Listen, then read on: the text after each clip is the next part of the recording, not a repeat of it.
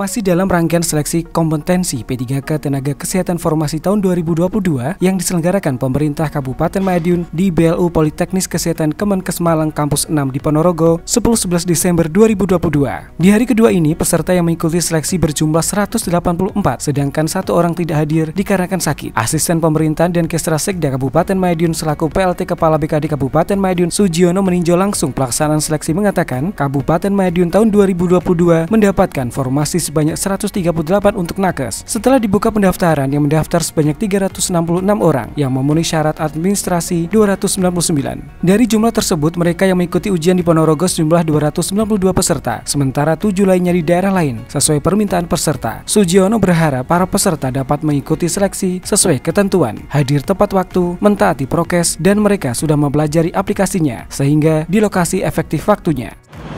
Jadi Kabupaten Madiun tahun ini mendapatkan alokasi formasi itu 138 ya, untuk nakes.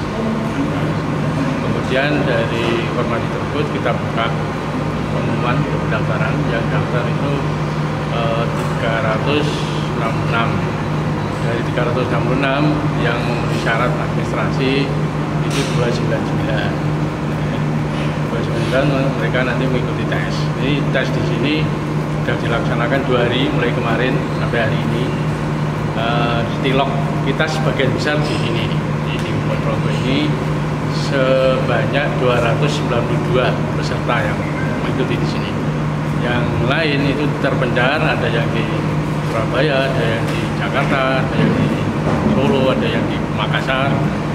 Itu terpisah-pisah ter ada tujuh orang semuanya kemarin itu semuanya hadir. Yang hari ini satu orang tidak hadir karena ada yang sakit, putranya sakit. Ya harapan kita mereka mengikuti sesuai ketentuan hadir tepat waktu, kemudian uh, prokes, kemudian dia ke sini sudah uh, mempelajari apa aplikasinya sehingga nanti tidak banyak memakan waktu, efektif waktunya. Sementara salah satu peserta seleksi Ati Yunitasari dari Saradan menceritakan persiapannya untuk mengikuti seleksi dengan berdoa, belajar semaksimal mungkin untuk mengerjakannya, untuk hasil berserah kepada Allah Subhanahu wa taala. Persiapannya ya yang pertama memang bismillah, terus belajar semaksimal mungkin ya. Kalau hasilnya serahkan